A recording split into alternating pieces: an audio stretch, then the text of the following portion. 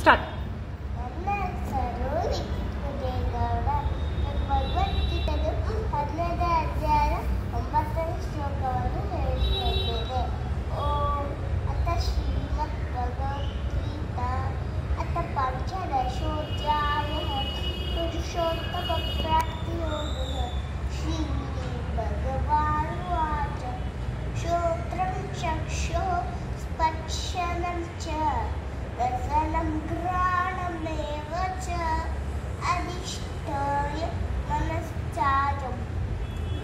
ಯಾರೂಪ ಸೇವತೆ ಇದರ ಅರ್ಥ ಕಣ್ಣು, ಕಿವಿ ಕಿವಿ ಕಣ್ಣು, ಮೂಗು, ನಾಲ್ಗೆ, ಸ್ಪರ್ಶ.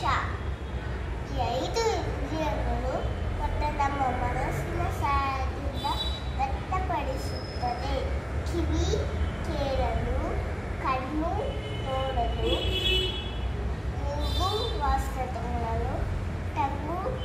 tahun baru. Spesial.